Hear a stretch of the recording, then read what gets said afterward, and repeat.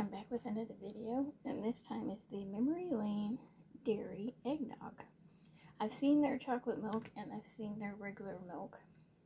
And I swear I've seen the eggnog in the past, but I didn't know it was eggnog.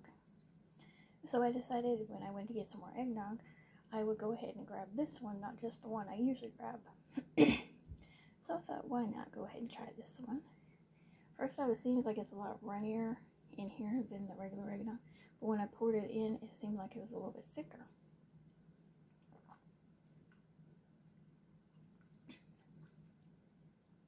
Tastes like eggnog. No issues. It is like it's a little bit runnier than the than the other eggnog I've tried that I tried that I use a lot during the holidays.